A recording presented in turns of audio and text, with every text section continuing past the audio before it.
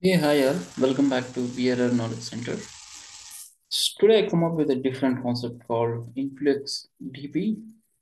Influx DB. So which basically it's a new concept uh, uh, arriving, uh, you know, for uh, time series of data storing uh, uh, for the you know time series platforms. This includes APIs for storing and querying of data, like their performance metrics and the HTTP uh, request and response details.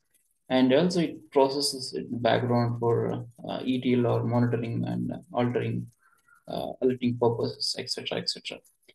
So this Influx DB is an open source uh, time series platform where it has different kind of data coming from different sources for to create a user dashboards and uh, visualizing and exploring the data and uh, extraction, transformation, and loading of data into different graphs, etc., etc. So this uh, InfluxDB, so uh, basically uh, using for time series platform, as I mentioned. So the time series or time series platform is a collection of observations of well-defined data items resulted through uh, repeated measurements over time. So time series data is indexed in a time order, which is a sequence of data points. So uh, time series database also available here. So like TSDB is a database system which is uh, optimized for providing time series data and it is uh, storage purpose. We use it to um, association with the time and values. So this TSDB uh, consists of measurements of, uh, you know, uh, the metrics that are monitored, tracked, refinement of data uh, downsampling and aggregated over time, etc., etc. They can be application monitoring analysis data or API uh, uh, processing, request and response data, etc., etc.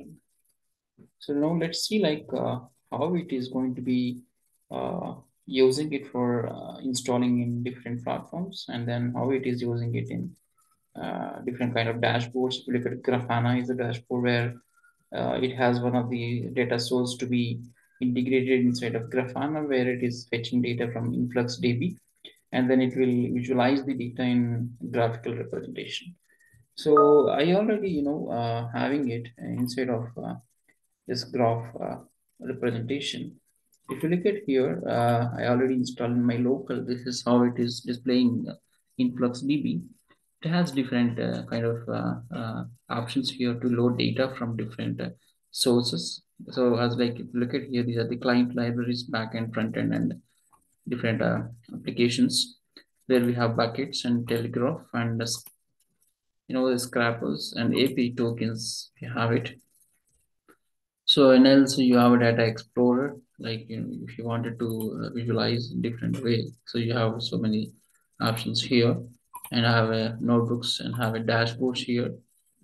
So and have a tasks and alerts. So you have a settings. You wanted to change it any settings, variables and templates. We have it basically, and it is something UI we have it to see our uh, series of data how it is uh, appearing. You know.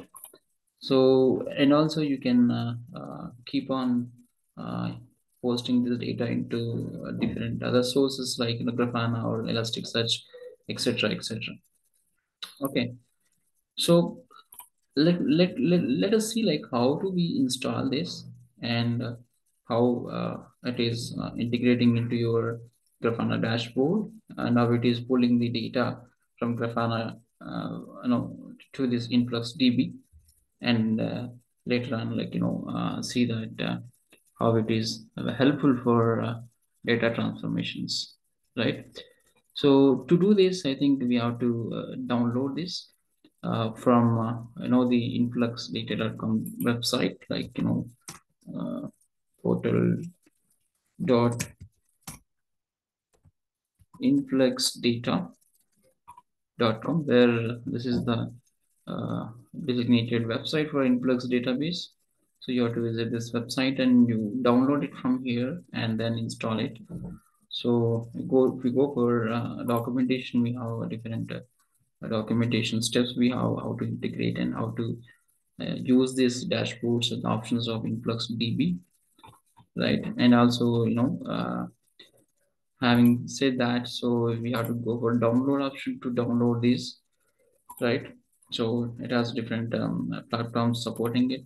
So Mac OS and Ubuntu and Red Hat and uh, Linux and Windows binaries and Docker images. So based on the platform you are right now working on it, you choose that option and get it, install it done.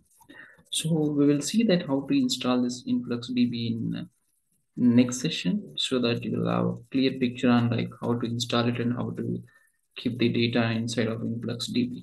Okay, so thanks for listening this video and we'll see the installation steps in the coming session. Thank you.